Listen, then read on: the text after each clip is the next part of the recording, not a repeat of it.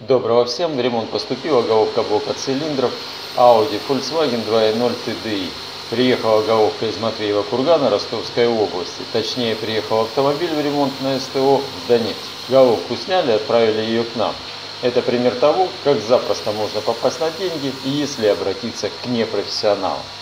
Предварительный диагноз льют форсунки, однако последние находятся в отличном состоянии.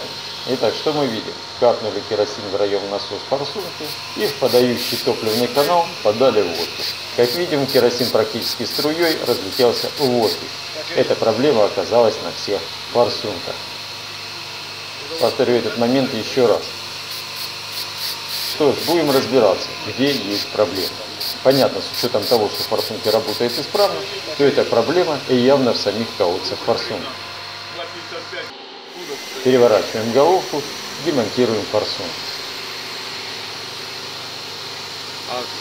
Снимаем первую.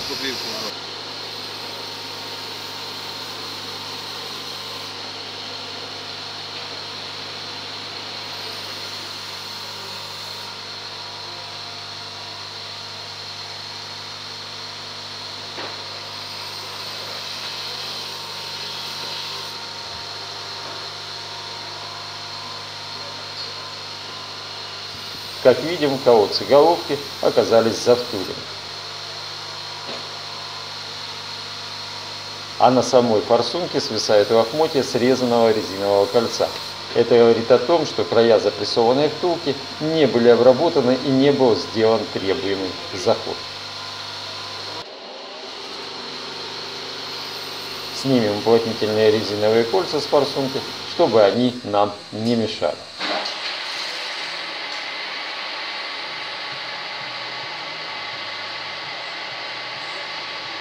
Как двигается в форсунке топливо и как же оно попадает между носиком форсунки и телом головки в отверстие для нее.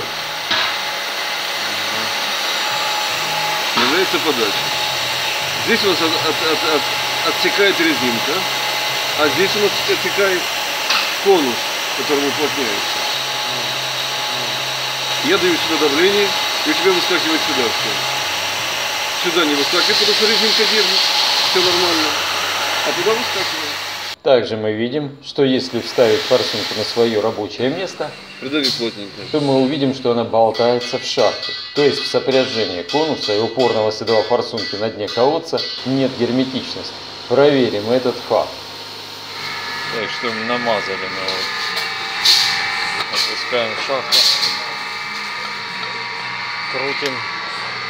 Достаем. Как был маркер на месте, так и есть. Можем взять аналогичную головочку и сделать то же самое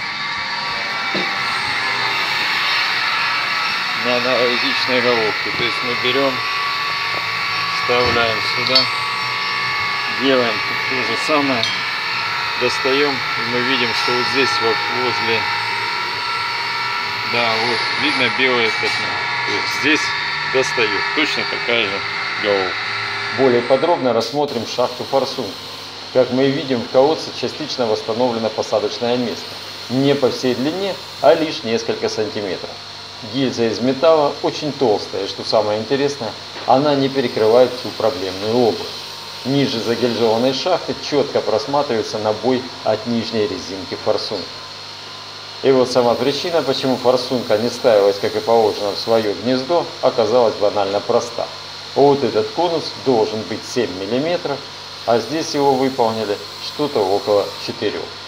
Все это, конечно, вполне исправимо. Проблем перевтулить косяки мастеров в кавычках для нас нет. Оценили стоимость работ, согласовали ее с клиентом. Однако все оказалось гораздо хуже. Когда приступили к разборке головки, выяснилось, что посадочные места толстым стаканом с большим натягом эти горе-мастера просто разломали.